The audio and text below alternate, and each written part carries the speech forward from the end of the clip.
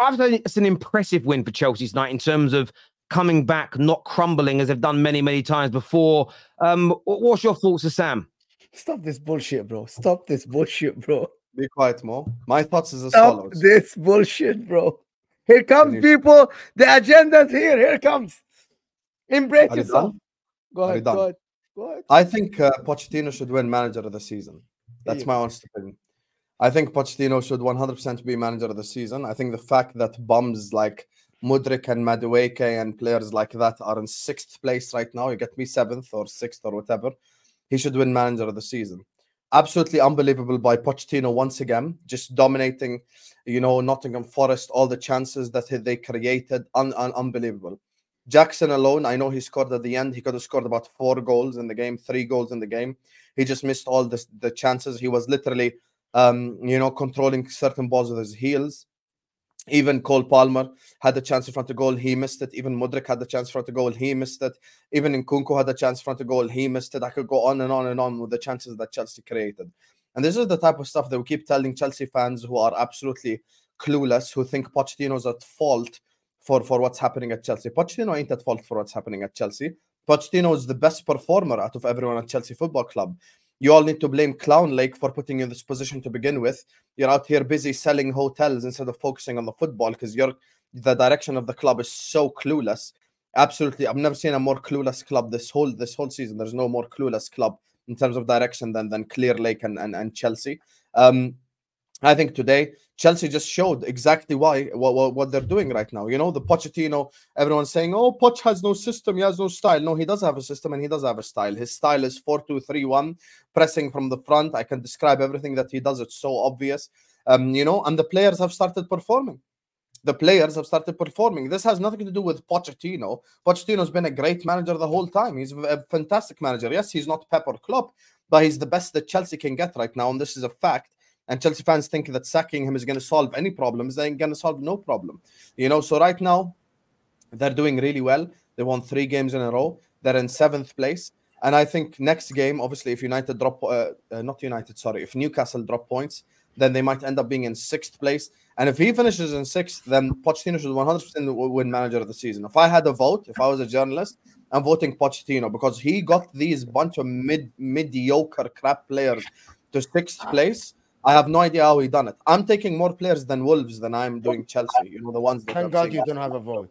Thank One God don't second. have Yeah, exactly. so- your vote's, One- your let vote's finish, fraudulent. let me finish. Your vote's Let fraudulent. me finish. Let me Fraud. finish, let me finish. vote. Fraudulent. Today, fraudulent. today, Chelsea scored three goals. I think they could have scored four or five uh, easily. You know, um, and this is just the the story of Chelsea's season. I have to give credit to the players now. At the end, I'm actually going to say the truth. I have to give uh, credit to the players for actually stepping up towards the end. The end of the season now that there is no more pressure or whatever it is, they've stepped up and they've actually shown glimpses of what they could become. We've seen the best of Jackson over the last four or five games. We've seen the best of the likes of Mudryk and Madueke and all these players towards the last four or five games, and they've stepped up and they started performing. I guess a little bit of Premier League experience is always helpful. So, yeah, well done. You guys are, are seventh. Eh, Listen, uh, one one challenge I've got for you on that before we, we try, and get a little bit onto the game. I understand your defense of Poch, Yes. but you know, me, me and Don have clashed over a few things. But the one I think Mhm. the area that we agree, and I want to ask you about is what about the games where he's playing Colwill at left back, where he's playing Chilwell on, on the left hand side of midfield Mhm. so regularly this season? And, and uh, again, this is the one where me and Don would probably disagree. I think keeping Enzo and Caicedo playing together for so long has been a problem. I, I, I, and I don't think it's about Enzo not being good enough per se, but since he's been out the team, they have been better overall. I know today that they they had to rely on some substitutions, but that happens.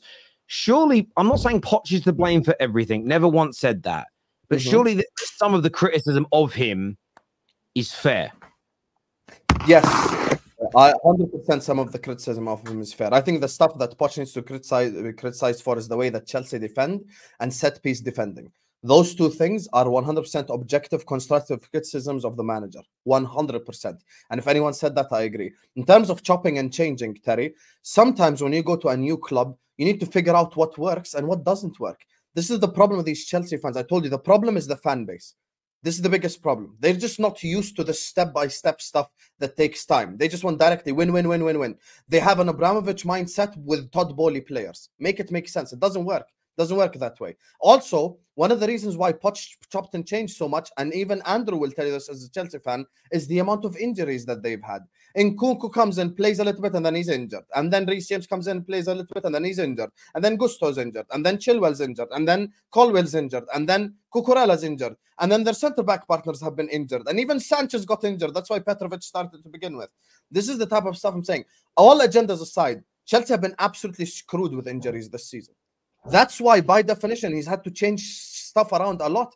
Out of, you know, out of all the Chelsea players who hasn't been injured this whole year, Gallagher. That's it. The rest of them have all had injuries at a point in time this season. Yeah, look, So injuries. Yeah, I mean, injury injuries certainly play a part, and I think that's the, the problem with a lot of these conversations, of Sam, is that, that they're always far too imbalanced. So of Yeah. course, the injury, the injuries that Chelsea have had, the injuries that Newcastle have had, the injuries that Man United have had, have impacted the amount of points we've got this season. 100%. Because if because if if not, equally, if Arsenal or City had as many injuries as we did, they'd probably still be up near the top, but they definitely wouldn't have as many wins as they had now, depending on what players were out. But of course, I think it's it's a it's a balance of everything, which is key. We'll come back to that in a minute. Um, Andrew, really good win to come back. What I said earlier, and I- I'd love to get your take on this, is it wasn't the best Chelsea performance we've seen in the last three, four, five weeks, but to be two one down, to make some proactive changes, and to show the mental strength to recover has been something hugely missing from Chelsea for a couple of years now. Yeah, I mean, I'll, I'll credit Poch for making the subs. They worked. That, that, we won, but for over an hour we were crap.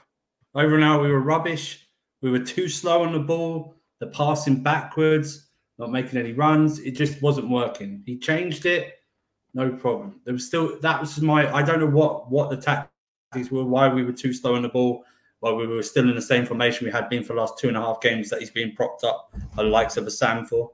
So um, it, it it's a win. It's a win. Performances don't generally matter this time end of this time of the season. It's all about wins. We needed to win because Newcastle dropped points. I'm not focusing on Spurs. That's a leap too far with only two games left. It has to be focused on Newcastle. We had to win because they dropped points. We got the goals. Reece is back. We're on a bit of a good vibe. Let's just focus on doing uh, getting into Europe, and then we can talk about Pochettino after that. But he got the subs right, which was which was good. And by the way, like that, like that super chat said, I thought Sterling came on and actually done very well. Yeah. Actually changed the game. So Yeah, yeah, I, I, yeah. Sterling certainly did. Um, what was your thoughts on on seeing uh, Reece James back? I mean, he, his performance was excellent. There have been some rumors in the media about maybe he's one of the players that might go this summer. Um, uh, surely they, they're not going to let someone of he. I know they're letting a lot of academy players go, but surely it can't be Reece James. No, I was a bit worried when he's running so hard for that goal. I thought he's going to put up his hamstring. That's just my evil mind. But um, I, yeah, it's good to see him back. Um, just another option, just to have, him about and be more of a good vibe around. Um, it was good to see him back, and yeah, like I say, he performed well. Like you said earlier in the stream, maybe that that him and Gusto thing is a thing going forward for the rest of, for the next two games.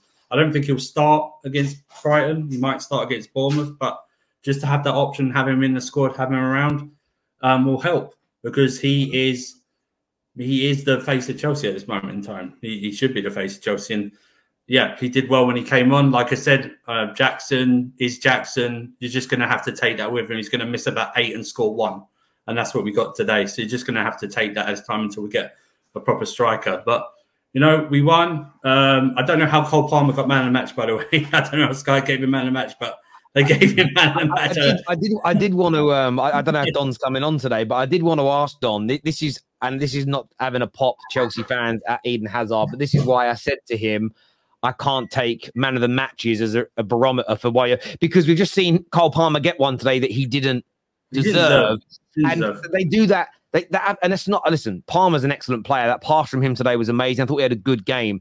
I felt it should have gone to either Sterling or Reece James when they came on, and maybe I think both of those two had such an amazing impact when they came on. I know they Mm. only played for fifteen to twenty minutes, but they were the difference makers. But yeah, yeah, I, I hear you on that. And also say it's like these guys know Cho.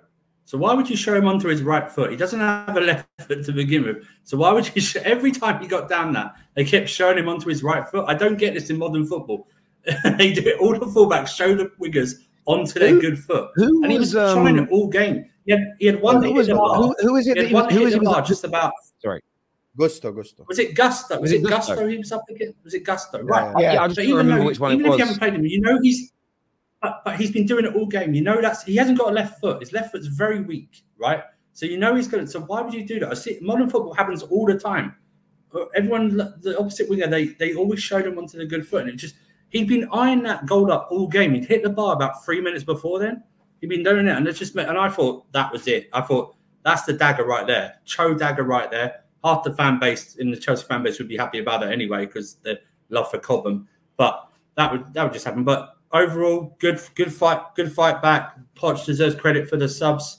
But it was just frustrating that first 55, 60 minutes. I know we scored, but just the way we were passing and and just just slow on the ball, just very, very slow What on was the fight. frustrating? It was like watching Man City at times today, man. Was slow and lethargic on the ball. It was just very boring. Andrew, what was frustrating? Can you tell me, please? I'm actually confused. I don't know what frustrated you. I was frustrated with it's just the it was very slow movement with when we had the ball. It was just the build up was slow, and it, I thought, I why weren't we playing like we had been against the two better teams in the two previous games?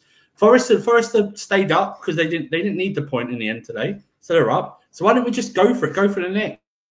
We've already. I'm not even bothered about conceding. We've all, we've conceded 60 goals, so it doesn't even matter about the how many goals we concede because we conceded 60 goals. Just go for it. Go two or three nil up, and then start playing slow. And that's what that's what frustrated me. That's all. But you know, we won, and like I said, I just want the three points, and because I'm, Newcastle I'm with dropped him points, actually. I needed. I didn't think Chelsea